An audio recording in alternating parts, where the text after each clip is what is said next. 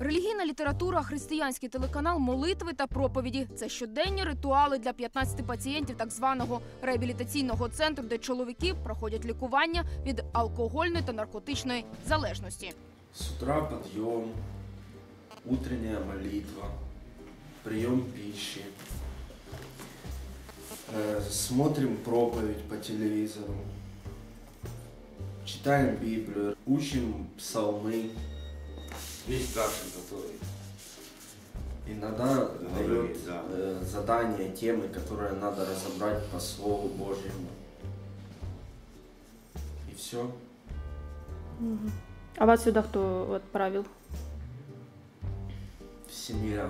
Пацієнти перебували в повній ізоляції, не дивились новин, не читали газети, книжок. Їм навіть не дозволяли виходити за межі центру і телефонувати рідним. Натомість день і ніч безперервно накачували релігією. Тут даже мирские каналы ну, Да, не закодировали. смотрят. только христианский. Христиан. То есть доступа к внешнему миру нет, ни интернета, ни Нет, молитвы. не ну, сбивалось. компьютер, музыка христианская, все, проповеди христианские, телевизор христианский, один канал все.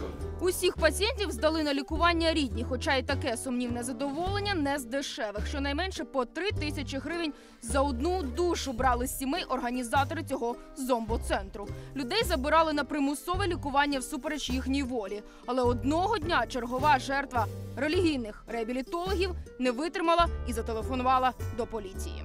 В вказаному реабілітаційному центрі, який являє собою приватне домоволодіння, було проведено санкціонований обшук, в ході якого було виявлено е, осіб, які проходили реабілітацію. Було встановлено двох громадян чоловічої статі, які вказали, що знаходяться в вказаному домоволодінні без їхньої волі.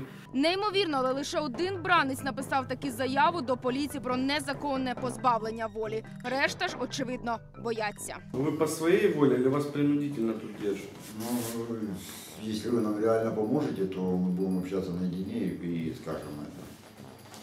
Потому что, как бы, может, ну, вы можете просто приехать и уехать, а у нас потом будут неприятности.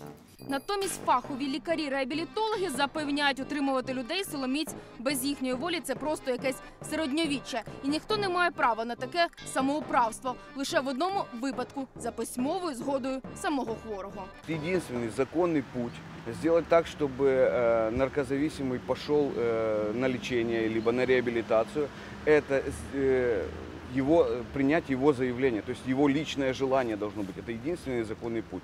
Более э, каких-то законных путей не существует. Поліція вже розслідує діяльність цього центру, з'ясовує, навіщо людей фактично брали в полон. За свою релігійну псевдореабілітацію організаторам центру самим доведеться сидіти і молитися, щоправда, вже за гратами до п'яти років.